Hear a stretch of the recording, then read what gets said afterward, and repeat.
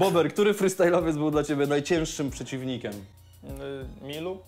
Filipek, kto był twoim najcięższym przeciwnikiem? Może być również y, kategoria wagowa, to już twój Syn wybór. młynarza. Syn młynarza.